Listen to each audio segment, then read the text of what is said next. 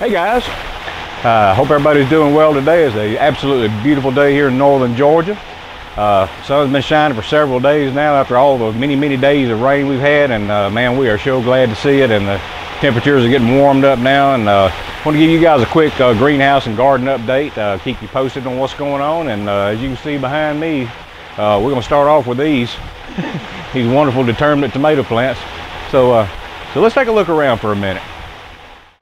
Okay guys, we're going to start off here with our um, supposedly experimental determinate bush type tomatoes. Uh, I'm not going to go down there and bother uh, renaming all these things again. I'm just going to give you guys a look at them and as you can see, as compared to last time, there they were about a couple of weeks ago and here they are now.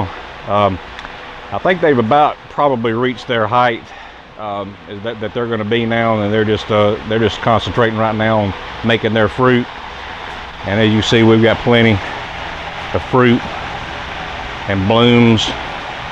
And anything you need and these things are really doing good. But I tell you what guys these things are really thirsty. They're taking a lot of nutrients and uh, they're really going through it. Uh, I said I'm gonna try to do this as best I can for you guys so you can just kind of get a, a, look at each one of them and uh,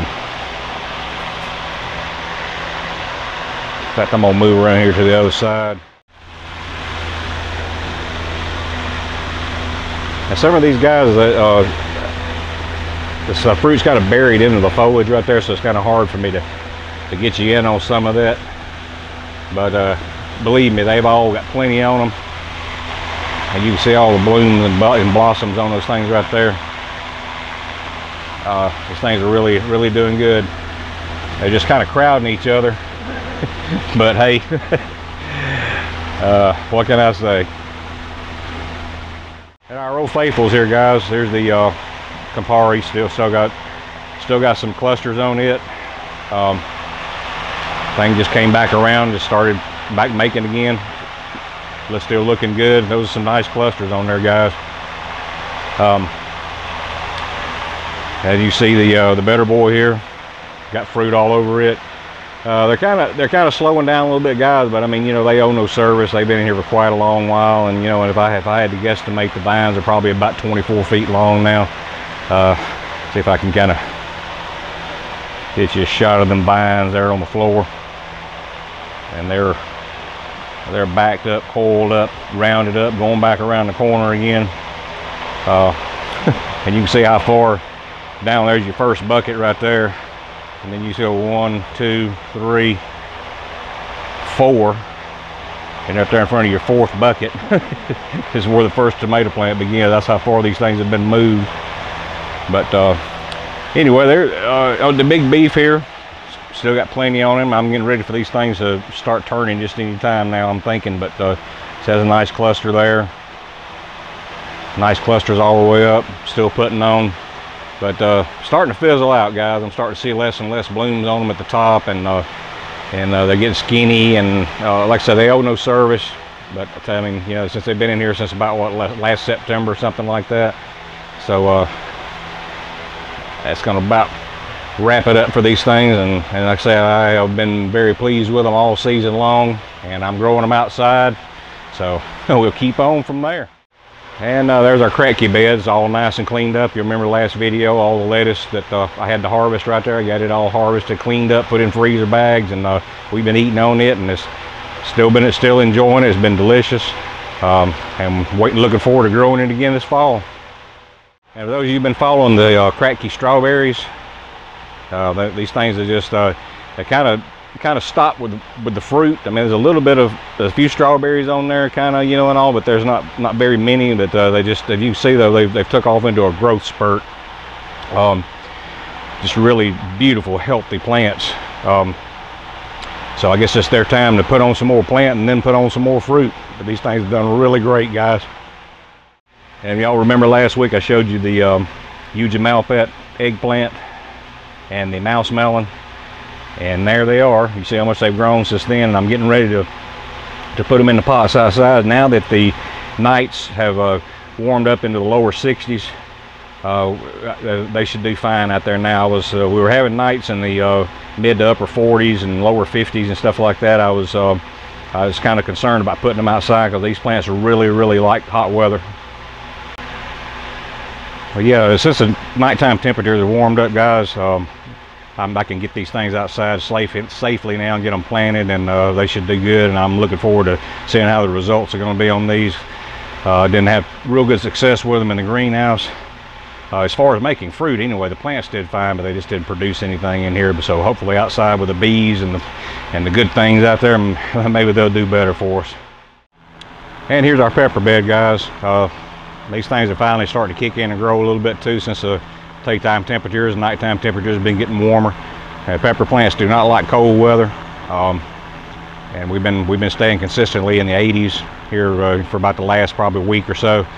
And the nighttime temperatures like I say they warmed up as well. So they're uh, they're doing fine. Starting to get some fruit putting on there. Um, and they're, they're they're really they're loving this warmer temperature.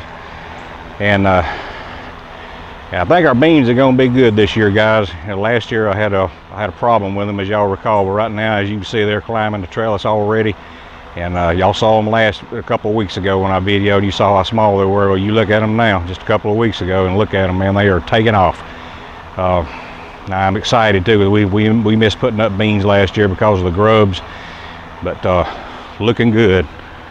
And uh, we'll move on down here to the cucumbers. Cucumbers uh, kind of were just sitting there for the longest. Uh, like I say, with the cool night temperatures, you know, cucumbers don't like cool night air either, and they don't like cool daytime temperatures. But as you can see now, they're getting their true sets of leaves on them. And uh, won't be long, they'll be on that trellis too. won't be long, we'll be picking cukes. and uh, onions are still doing fine. Uh, can't tell a whole lot about the growth of them right now. I mean, you know, it's just that's not, it's not one of the things you really see a whole lot out of, you know, week after week. But uh, uh, they are growing. They're doing fine. So looking forward to those. All right, we'll move over here to our uh, outside tomato plants, guys. Uh, as you can see right here, these things have grown uh, quite a bit. And uh, guys, I want to tell you something. These these things are just they're just a picture of health. Nice, good, fat stems. Leaves are nice and and and, and stiff. Uh, you know, kind of got the leathery aspect about them. Just real, just real hard. You can tell they're real tough. And these are the uh, these are the uh, brandywines on the right here. looking real good, guys. I'm man, I'm looking forward to these things. And then uh, my Rutgers, looking real good. Didn't get to grow in them last year. Uh, I did, but I gave them away. But anyway, y'all know the story though. Y'all been following the video. Um, and then the uh, Big Beef and Better Boy, all looking really good, guys. Starting to get some some blooms on them, and uh, like I say, looking forward to it.